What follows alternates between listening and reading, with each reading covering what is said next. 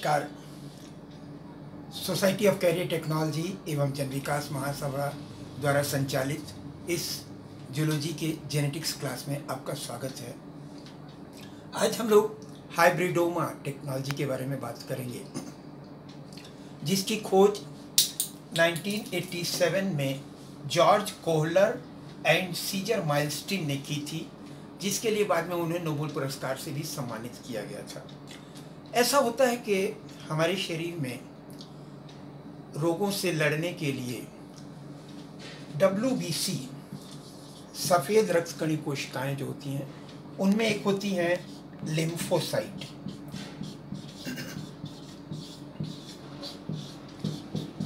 और lymphocyte sales बनने के बाद, रेड बोन मैरो में बनती हैं, और बनने के बाद उनकी बीच में प्रोसेसिंग होती है। या तो वो थाइमस ग्लैंड में चले जाते हैं और उसके अंदर जाकर के क्या होता है, कैसे होता है, ये कुछ नहीं मालूम। बस ये कि उनकी कुछ प्रॉपर्टी बदल जाती है और जब फिर से ब्लड सर्कुलेशन में आ जाते हैं तो उन्हें कहते हैं टी लिम्फोसाइट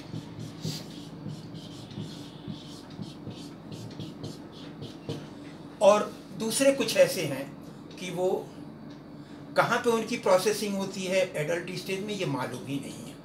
बस इतना मालूम है कि बर्ड्स में क्लोएका के पास एक ग्लैंड होता है, जिसे कहते हैं वर्सा ऑफ़ फैब्रिशियस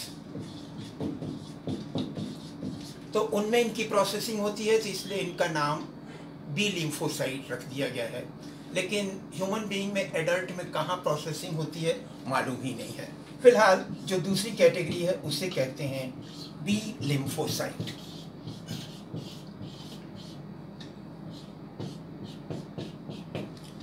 जो टी लिम्फोसाइट हैं, वो फैगोसाइटोसिस करते हैं.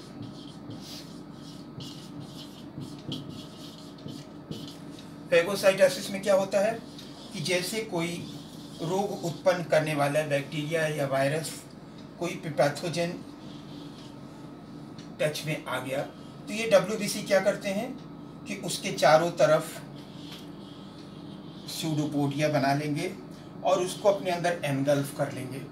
और फिर सेल के साइटोप्लाज्म में लाइसोसोमल एंजाइम्स के द्वारा उसे डाइजेस्ट कर लेते हैं। और दूसरे जो बी लिम्फोसाइट सेल्स होती हैं, वो कोई भी विदेशी तत्व जब हमारे शरीर के संपर्क में आता है तो उससे लड़ने के लिए वो एंटीबॉडी बना लेती हैं।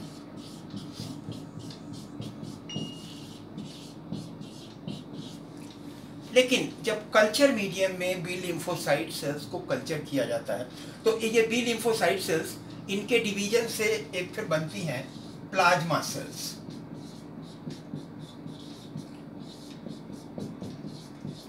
और ये प्लाज्मा सेल्स ही एंटीबॉडी बनाती हैं।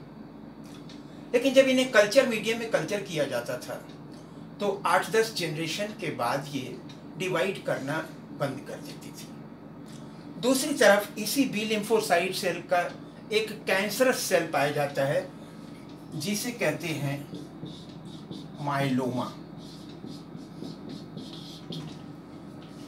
और माइलोमा जो कैंसरस सेल है मतलब वो हमेशा डिवाइड ही करता रहता है, उसका विभाजन होना रुकता नहीं है। तो ये जॉर्ज कोहलर और सीजर माइस्टिन ने ऐसा एक टेक्निक डेवलप किया कि इन दोनों प्रकार की कोशिकाओं को लेकर के फ्यूज कर दिया। और फ्यूज करने के बाद जो एक सेल बना, उसे उन्होंने नाम दिया हाइब्रिडोमा।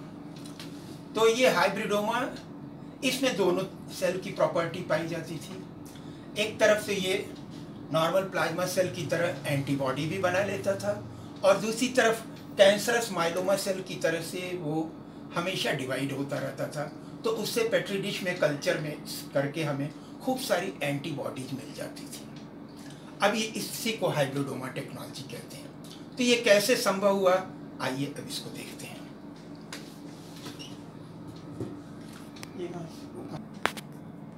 तो जैसा कि आप जानते हैं कि सेल मेम्ब्रेन में लिपिड और प्रोटीन की सैंडविच से मिलकर के बने होते हैं। और इसमें जो लिपिड की लेयर होती है दोहरी, वो उसमें कुछ हिस्सा तो ठोस, घी और मक्खन की तरह से होता है और कुछ हिस्सा तेल की तरह से फ्लूइड भी होता है।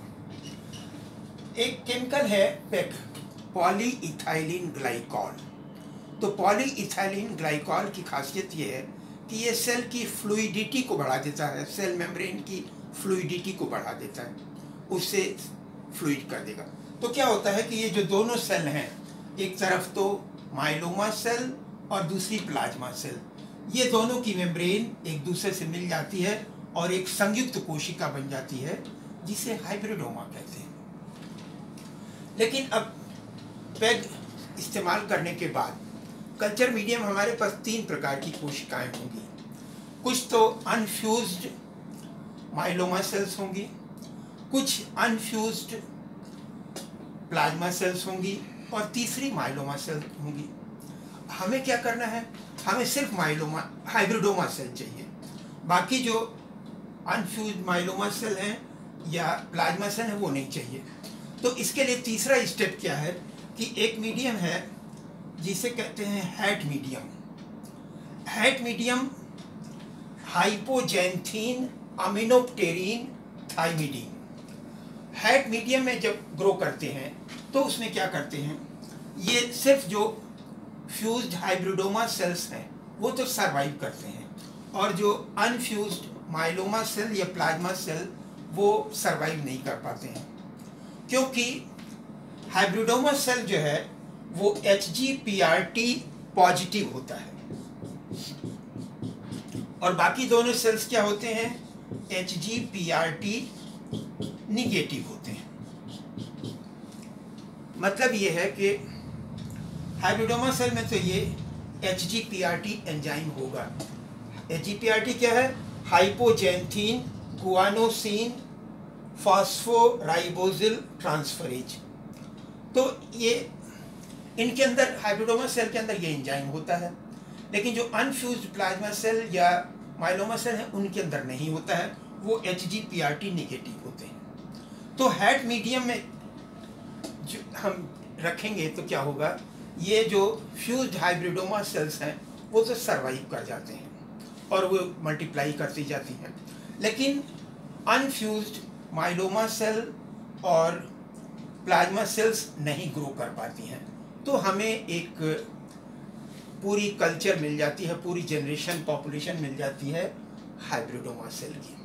और इस हाइब्रिडोमा सेल में खासियत क्या है कि ये एक तरफ़ तो प्लाज्मा सेल की तरह से एंटीबॉडी भी बनाती रहती हैं और दूसरी ये कैंसरस माइलोमा सेल की तरह से हमेशा डिवाइड भी होती रहती हैं। तो हमें दोनों फ़ायदे मिल गए कि वो हमेशा डिवाइड भी होती रहती है और एंटीबॉडी भी बनाती रहती है, उस एंटीबॉडी से हम दवाएँ बना सकते हैं। इसको कहते हैं हाइब्रोडोमा टेक्नोलॉजी अब इसमें एक और इन्होंने नई बात निकल करके आई कि ये M C A M C ए का मतलब होगा मोनोक्लोनल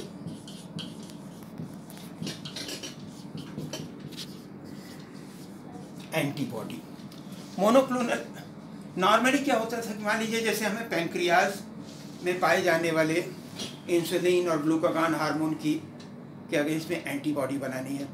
तो हमने पैंक्रियाज के सेल लिए। अब उसमें मीडिया में क्या है? इंसुलिन भी है ग्लूकागान भी है सोमेटोस्टेटिन भी है गैस्ट्रिन भी है, कई तरीके के केमिकल्स हैं। तो उससे जो एंटीबॉडी बनेगी, वो कई प्रकार की एंटीबॉडी का मिश्रण बनता है। उसे क्या कहते हैं? पॉलीक्लोनल एंटीबॉडी लेकिन यहाँ पर क्या है? कि चूँकि एक ही तरीके की एंटीबॉडी बनाने वाली सेल के फ्यूजन से हमने बनाया है हाइब्रिडोमा तो ये एक ही प्रकार की एंटीबॉडी बनाएगी, जो हाईली प्योर होगी, जिसको कहते हैं एमसीए या मोनोक्लोनल एंटीबॉडी अब इस चीज़ के और भी बहुत सारे फ़ायदे हुए हैं, और पिछले सत्तर साल में दुनिया में जो मेडिकल साइंस या जीव विज्ञान के क्षेत्र में होने वाली कुछ महत्वपूर्ण डिस्कवरीज हैं। उसमें से ये भी है, इसके खोजकर्ता को भी नोबल पुरस्कार से सम्मानित किया गया था। एक और बड़ी समस्या है drug delivery system drug delivery system का मतलब ये है कि हम सपोज़ हमें लीवर में जॉन्डिस हुआ है और हम उसकी दवा खा रहे हैं। तो वो दवा हमने खाई और मुँह से होकर के भोजन नली में गई भोजन नली से फिर एब्जॉर्ब होकर के ब्लड में गई। ब्लड में होकर के वो लीवर में भी जा रही है हार्ट में भी जा रही है किडनी में भी जा रही है। जिस, जहाँ उसकी ज़रूरत नहीं है तो अधिक दवा खर्च करनी पड़ती है। और इससे हम एक ऐसा सिस्टम बना सकते हैं। एक तो नया सिस्टम है लाइपोसोम का।